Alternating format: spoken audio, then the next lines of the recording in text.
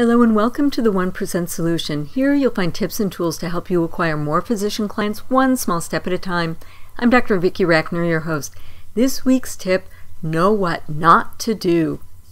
These ideas are inspired by my recent attendance at a surgical meeting. An anesthesiologist made a presentation about what went into designing a state-of-the-art operative suite. Here's the biggest mistake. Don't ignore the details. The anesthesiologist said that the team wanted to optimize the patient experience. What does this have to do with you? Well, every time you see the word patient, simply substitute client. How would you optimize the client experience? Well, there are some things that are no-brainers. If you're a patient, you want a warm blanket. You want to be greeted by somebody with a smile. But when they dug a little deeper, they came up with some surprises. For example, patients prefer to be wheeled into the operating room feet first rather than head first. It gives them more of a sense of control. The OR suites were designed to keep frightening things out of patients' view, so scrub sinks and equipment and even suction containers were put behind a staging area that patients had no visual access to. Do you keep frightening things out of your client's view? What about the reading materials in the waiting room? Are they uplifting?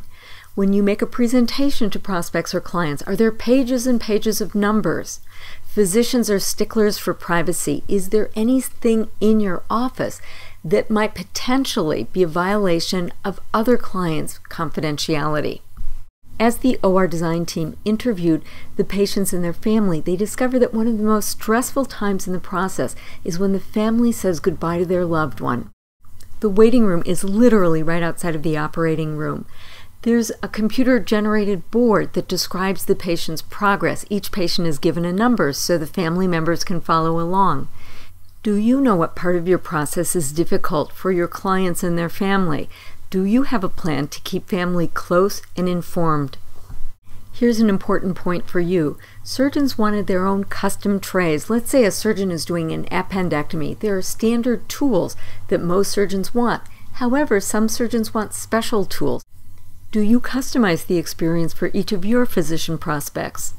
This week's tip is don't overlook the details. As an exercise, pretend you're a new prospect and go through your process. Are the details all taken care of? Thanks for stopping by today. Hope that you found value in this content. Tune in next week for your next 1% solution.